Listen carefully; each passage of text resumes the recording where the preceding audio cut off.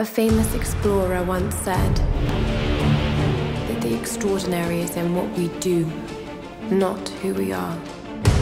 I'd finally set out to make my mark, to find adventure. But instead,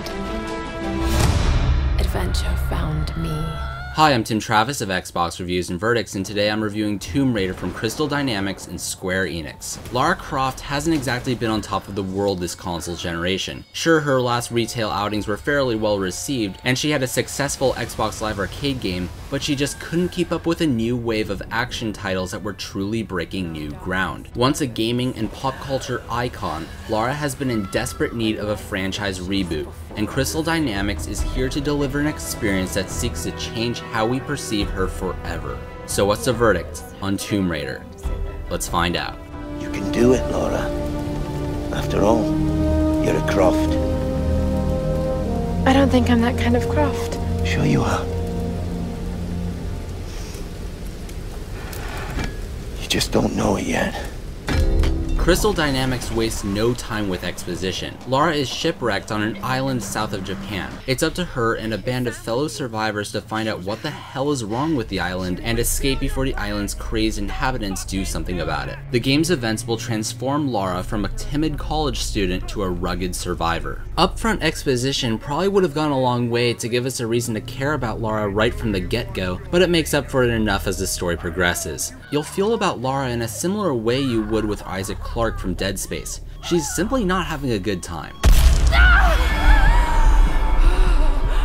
The supporting cast isn't bad at all, but you won't be rooting for them like you will with Lara. Since the game doesn't have any exposition, you won't immediately know much about these characters' motivations or maybe even why Lara cares for them. But the game divulges information about them as the game goes on, often through old camcorder footage, but again, upfront exposition could have been far more effective. But overall, this is a successful origin story that shows us what Lara will look like for the foreseeable future. This is a younger but far more serious and mature Lara and the game is much better for it. The voice acting really sells it. Camilla Luddington's performance of Lara is incredibly believable. I'll take this new Survivor Lara over the old sex symbol Lara any day of the week. One minor complaint is that there is a slight disconnect between how she's portrayed in cutscenes versus gameplay. An early sequence is Lara's first kill. It's a truly shocking scene that shows death ain't pretty, and seems emotionally difficult for this young adventurer. But this is immediately followed by gameplay where you kill plenty of the island's locals with ease. It's somewhat jarring, but at the same time, it only reinforces the fact she has to adapt to survive, and this never became a nagging issue as the game went on.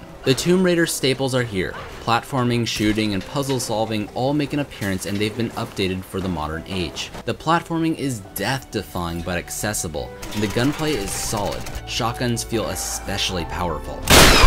Puzzles aren't as prevalent as the former elements and are generally confined to bite-sized optional tombs. A new flair to Tomb Raider is the addition of a Metroidvania-like structure. You will regularly obtain new gear that will allow you to access new areas. Climbing axes let you scale craggy surfaces, shotguns blow away barricades, and rope arrows let you shimmy to otherwise hard to reach areas. These tools are fun to use, but the structure is nowhere near as dramatic as other Metroidvania titles since these tools are only there to get you from one mission to the next, and not to reach hidden collectibles. There is a basic leveling structure that can increase Lara's survivability or combat effectiveness, which can make already brutal combat even more so.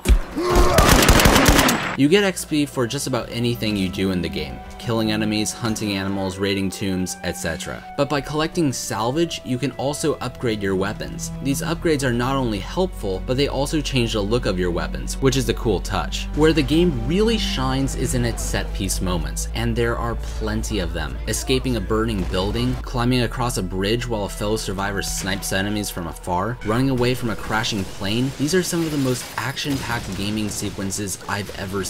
This stuff is definitely a lot more impressive than the game's many QuickTime events. Even stealth makes a regular appearance. These moments are scripted in a way to be very cinematic and accessible. The bow, Lara's signature weapon, gets the greatest amount of use here. Stay here, I'll check it out. A nice touch is that Lara gets behind objects to break her enemy's line of sight automatically, which in turn creates a very seamless cover system in firefights. It doesn't hurt that this game looks as good as it plays. It might not be at the very top of the pack visually, but it matches just about anything else that's come out over the last few months. The vistas look fantastic, the art style is awesome, and Lara is lovingly animated. This game can also get pretty disturbing at times. I swear, this game can look like Cannibal Corpse album art at times. But of course, this game revels in the insane action spectacle. Everything around you will be falling apart and this game still runs without a hitch. What some players might find underwhelming is the general lack of difficulty. Combat isn't terribly challenging on the normal difficulty, but Crystal Dynamics is not in the business of wasting your time with a single player. The game might not be the most challenging out there, but that only helps the gameplay keep up with the story's pacing. Optional tombs are generally a breeze, but it fits with the fact that the game doesn't want to halt your progress. The set piece moments are some of the best I've ever seen and play seamlessly. Maybe these moments aren't terribly challenging, but they are thrilling, impressive, and very fun. If there's one game available on the Xbox that can make you feel like you're part of a blockbuster action movie, it's Tomb Raider.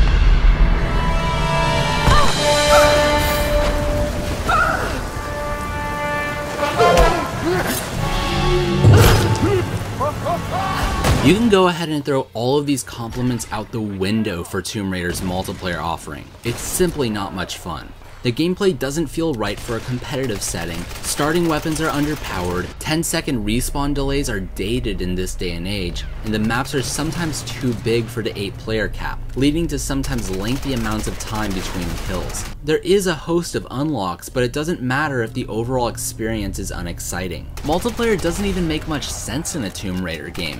Wasn't it Lara Croft that made this property cool and exciting and not frivolous features like this? Just saying.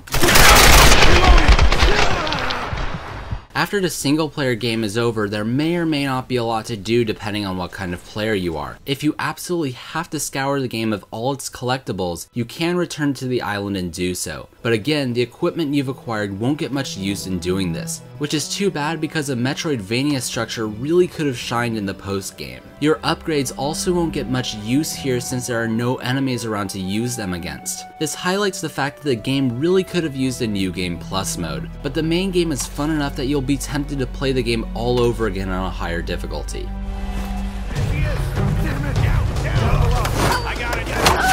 Lara Croft has earned herself an overall solid reboot. Nitpicks about a lack of a new game plus mode or an underwhelming Metroidvania structure aside, the single player is just plain fun and keeps your interest high throughout the experience. Plus the conclusion is satisfying and effectively sets up more games without resorting to a cliffhanger. The multiplayer is to say the least unnecessary and damages the complete product, but when all I want to do is start a new game over from the beginning, it's easy to tell this series is now on the right track track.